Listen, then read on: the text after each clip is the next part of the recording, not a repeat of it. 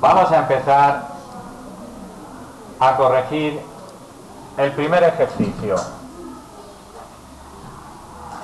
A ver, Martina. Mirad, vamos a poner aquí al lado de cada número su aproximación y luego hacemos la suma. Aquí tienes, vamos a aproximar 57. 57 sería 60 y 36 sería 40.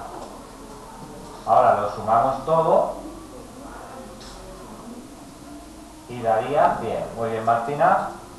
Dos puntos. Lo tenemos copiado.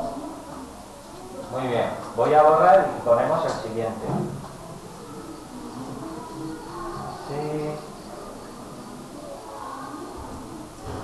Siguiente número es 43 y debajo voy a poner 129. Vale, vamos a aproximar este número. Silvia. Hacemos lo mismo, aproximamos primero. Hazlo directamente, lo tienes ya hecho y así vamos más rápido. Aproxímame.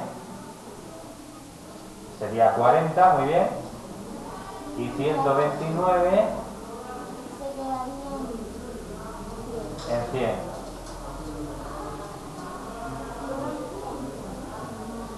Y si sumamos sería... No, espérate, que lo has colocado. Hay que colocar bien los números, si no, nos liamos. Espérate, te lo voy a colocar yo. Sería así. El, la decena 140, muy bien. Fíjate.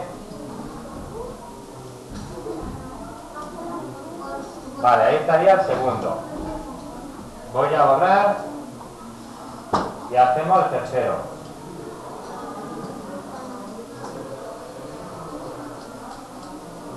El tercero dice así. Es una resta 71 menos 54. Vamos a poner aquí directamente Aitana. La aproximación.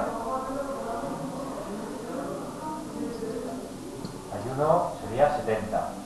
Y 54, 50. Y ahora hacemos la resta. Muy bien, 20. Dos positivos para Aitana. Lo tenemos. Borro. Vamos a borrar y hacemos el siguiente. Tengo 208 menos 92. Vale, voy a poner aquí al lado la estimación. Paula.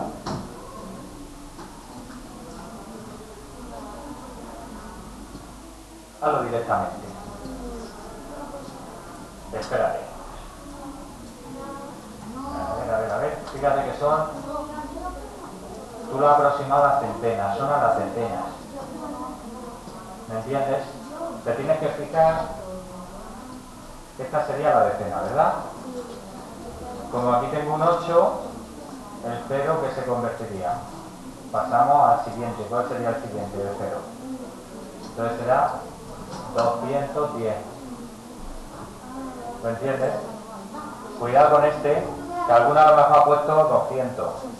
Es a las decenas. Entonces, miro la decena y miro el que está al lado, que es un 8. Como he sacado un 8, paso de curso, sería 210. ¿De acuerdo? Cuando yo aproximo, lo único que cambia es lo que está después de, ese número. Lo que está delante se queda como está. ¿Y si aproximo 92? Sería 90. Ahora hago la resta. 0, 2, 1, 120. ¿De acuerdo? Va a ser que llevar cuidado. Si pone decenas, tenemos que mirar siempre las decenas. Voy a borrar y hacemos el siguiente. A ver. Tengo 18 por 7. Alejandra. Fijaros que aquí solo pongo, solo hay que aproximar el que tenga decenas, el que no tenga decenas no se, se aproxima. Sería 20 y el de abajo se queda como está. 20 por 7. Es muy fácil, multiplico primero. Multiplico 7 por 2 y el 0 lo añado al final. ¿Lo tenemos? Voy a borrar. Ahora vamos a 64 por 9. 64 por 9.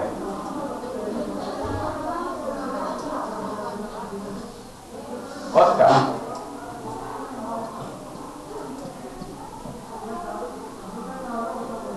Aproximamos primero 64. Directamente, pone lo que te ha dado el resultado. 60, muy bien, y el 9 se queda como está. Y ahora por la multiplicación. 9 por 6. 54, 540, muy bien.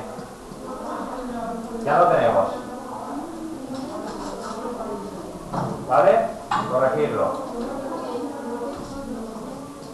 Voy a ahorrar.